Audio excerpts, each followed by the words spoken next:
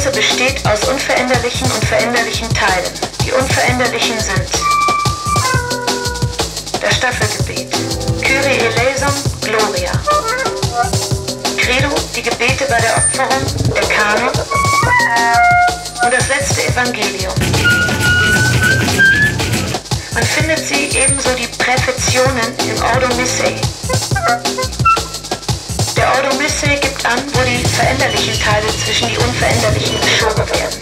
Die veränderlichen Teile sind Introitus, Oratorio, Epistola, Graduale,